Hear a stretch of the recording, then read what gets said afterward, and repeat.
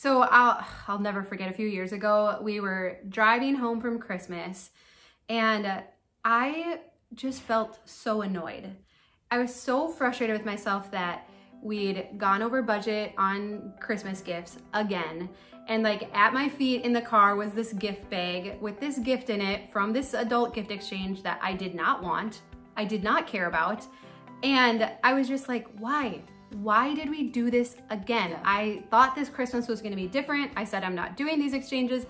And I was so frustrated with myself. And then not to even mention then thinking about getting the credit card bill in yeah. January yeah. and just how nauseated I was gonna feel at that. And knowing our kids had gotten all these gifts and already we were like 12 hours removed.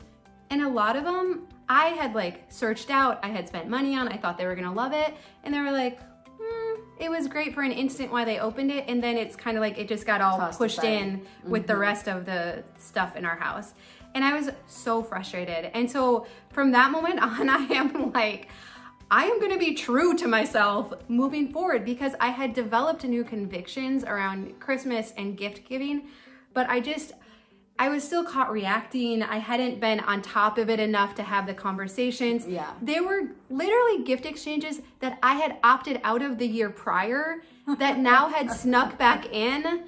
And so I was I was just so frustrated. And I'm like, no, I'm like, I'm not going to keep doing this and I'm yeah. not going to do it again. So today we want to share with you three simple tips to reclaim the holiday season to make it a little more simple, a little more minimalistic. Yeah. We've got some great resources to share with you too. And I think it can be practical and not too hard.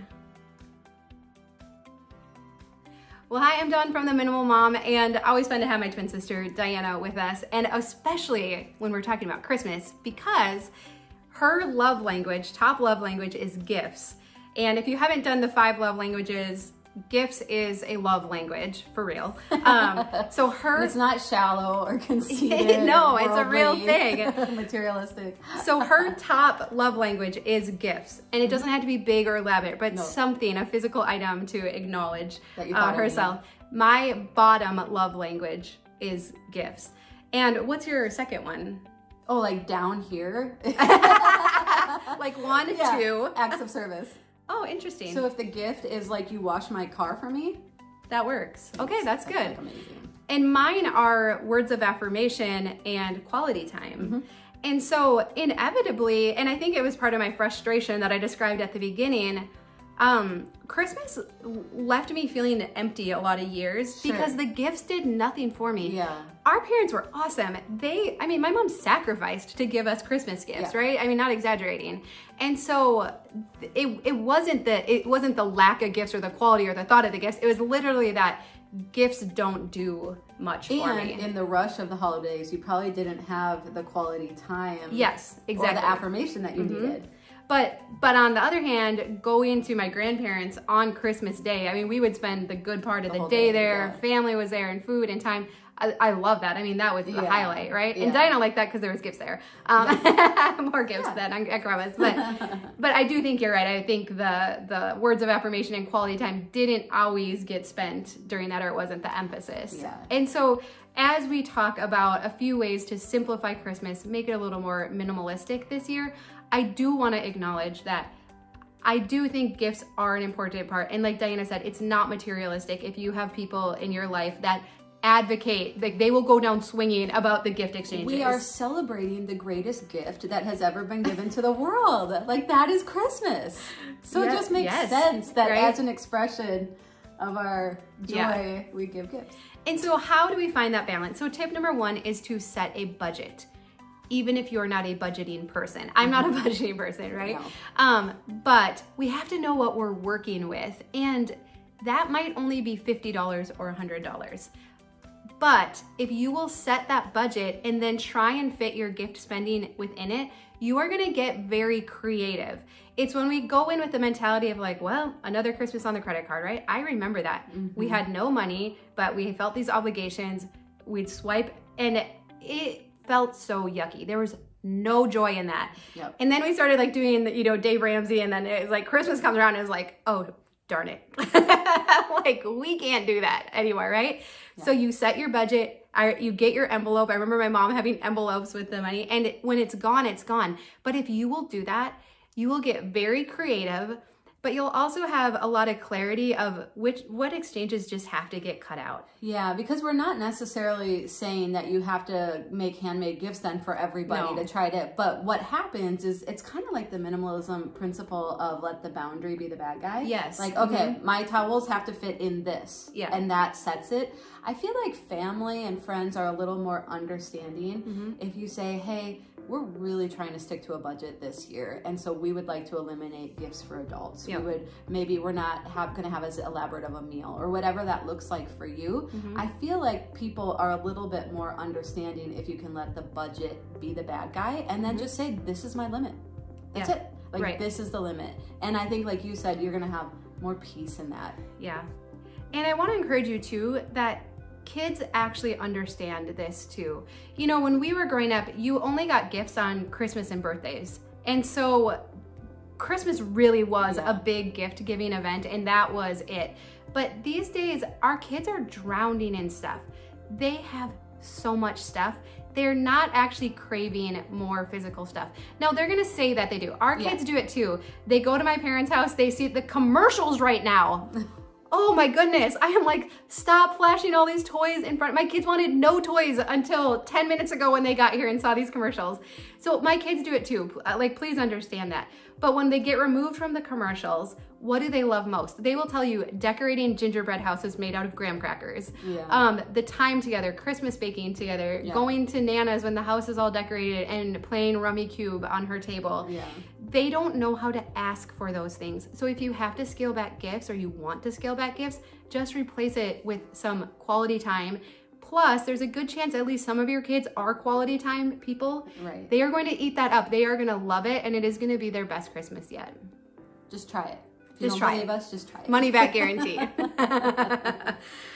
All right. So tip number two is to pick your thing. Mm-hmm. As women, I think we we try to do it all: the decorating, the baking, the wrapping, the shopping, oh all the get-togethers an Instagrammer last year was doing like she was a mom with kids and she was doing a tutorial on how to make these perfect little bows for her kids as gifts and I was like you put bows on the gifts that go under the handmade tree? ones and I was like now I have another thing I have to do you know? yeah and I mean maybe that's her thing it, maybe that's her thing right but we're adding Christmas on top of an already jam-packed schedule, yeah. right? And actually, Diana, do you want to hold up your Christmas planner? I love this. Diana has a free printable, so we'll put a link below for a Christmas planner. It's less doing more meaning, so it has a faith spin to it, but um, if you will take an hour to go through this planner, you're gonna have your priorities intact and you'll it'll help you walk through what is your thing. And honestly, for me this year, um, we get a lot of time with the kids now that we homeschool, um, and they're home all the time. So it's my Christmas isn't as kid centric this year. I'm actually really looking forward to some adult time with yeah. going out with my mom, uh, going out with the gals from our small group, and and so I'm actually this year prioritizing some adult get-togethers. Awesome. Where in the past it was traditions with the kids. It's kind of fun to change seasons a little bit. And I've always done a Christmas tea. Mm-hmm and that's just fun because it's a tradition it is it's girl time where i get to kind of treat and mm-hmm. be hospitable yeah. and so it's like that's my thing yeah everybody is not going to get that level right right right but that tea is my thing yeah and i love that and people say like every year they look forward to it right and so pick your thing and it's okay if some of the other stuff gets let go this year. I mean, Christmas, next Christmas will be here before we know it. So yeah. if the decorating has to be a little less Next year will be here before we know it. Yep. And then the last thing is to ask yourself, what can get pushed off till January? So as much as I'm looking forward to some get-togethers um, this holiday season, that might not be your season. And so pushing them off to January when you can actually enjoy them. And something to look forward to. Mm-hmm. In Minnesota, January and February are the months that we endure. It's like single digits here. So to have a show to look forward to or a get together, yeah. you know, and where you can just put, hey, you can do after Christmas sale shopping. Right. and then, you know, just yeah. have a little more time to enjoy. That can be a lot of fun. So any get together that you can push off, then permission to do that. And I agree. I think it's fun to have things to look forward to in the new year. So I would love to know, like, what have you done to simplify? I know uh, with kids too, the the like four gift thing where it's like something yeah. to wear, something to do. I actually have some printables for those. I can link those down below. But it's another way to give a guide if you are transitioning to fewer toys or less yeah. gifts to then show your kids like, oh, here's what we're gonna do. Will you pick out, you know, a couple things for each of these categories. And for adults that are gift people, we've had a lot of fun doing a white elephant gift or a mm-hmm. gift card exchange or like a general gift where you set like a $10 limit sure. and you just exchange gifts when you get there. Yeah. Things like that that are inexpensive but still kind of, you know, scratch that itch for people who like yeah. to get gifts. So there you go. If you have I just had to get that in there again. I know. I? I know. So please hear me. I'm not saying cut out all the gifts, but I do feel like I just I don't want to have that regret that I described at the beginning, yeah. that yuck feeling when the holidays are over where you look around and you're like, none of this mattered, right? Yeah. If we can do a few things this year to simplify, cut out some of the gift exchanges that are excessive, I think we can have a more enjoyable holiday season. And that's, after all, that's what Less it's all doing, about. More meaning. That's what it's all about. so looking forward to seeing your ideas down below as well. But we hope your planning is going well and we love you and we'll see you again soon. Merry Christmas. Too early? I think okay. that might be too early. Yeah. Happy Thanksgiving.